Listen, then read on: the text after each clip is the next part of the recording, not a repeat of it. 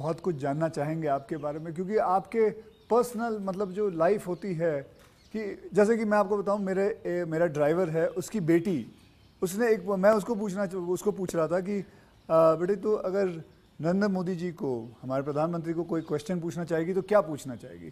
तो कमाल का सवाल उसने पूछा कि क्या हमारे प्रधानमंत्री आम खाते हैं? ये भी उसका क्वेश्चन है कि आम खाते हैं और अगर खाते हैं तो क्या काट के खाते हैं या ऐसे गुटली के साथ खाते हैं? मतलब होता है ना वॉश बेसिन के ऊपर खड़े होके गुटली के साथ आम खाना उसका मज़ा ही कुछ और होता है। तो मैं जानना चाहूँगा कि आप आम खाते हो सर? एक तो मैं आम खाता भी हूँ और आम खाना मुझे बहुत पसंद भी है। अच्छा।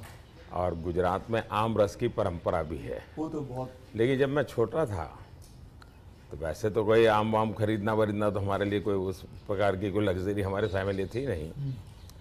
लेकिन कभी खेतों में चले जाते थे तो हमारा देश का जो किसान है बड़ा उदार रहता है। कोई खेत में आकर के खाता है तो कभी रोकता नहीं है।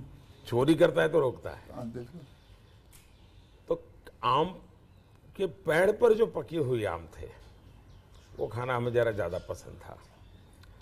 यानी उतारने के बाद पकाया हुआ नहीं नेचुरल कोर्स में पका हुआ। और फिर पूरा का पूरा अच्छा तब तो ये हाइजीनिक की कोई समझ भी नहीं थी कि धोना चाहिए टिकना करना कुछ नहीं समझते हाँ, थे मतलब ऐसा ही अपना कर लेते थे। लेकिन बाद में जैसे जैसे बड़े तो कई वैरायटियों के विषय में जानने लगे आम रस खाने की आदत लगी। लेकिन इन दोनों मुझे कंट्रोल करना पड़ता है। अच्छा अभी फ़िलहाल कंट्रोल अब फ़िलहाल में मुझे सोचना पड़ता है कि इतना खाऊं या न खाऊं।